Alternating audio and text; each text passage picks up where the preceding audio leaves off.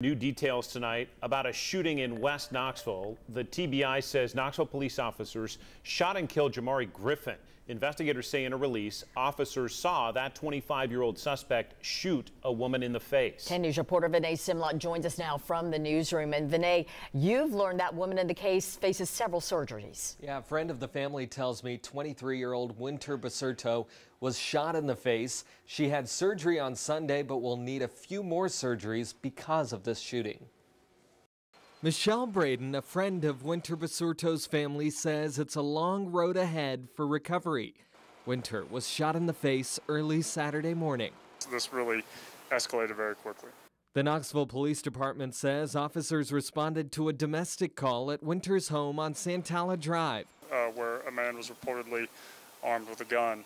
Police say 25 year old Jamari Griffin shot Basurto in the face Officers returned fire, shooting and killing Griffin. The man was uh, pronounced uh, deceased at the scene. Basurto went to UT Medical Center for surgery and treatment.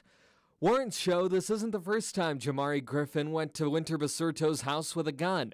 In February, officers responded to reports of gunshots at the same home. Warrants state Griffin was Winter Basurto's ex boyfriend. He brought flowers and tried to get back together with her.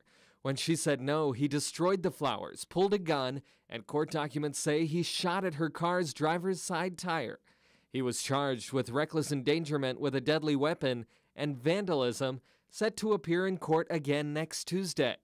After this weekend's shooting, those injuries are considered non life threatening, and she was at the UT Medical Center receiving treatment for those injuries. Winter's family says in a GoFundMe she'll need a tracheotomy and a feeding tube for her recovery that's just beginning.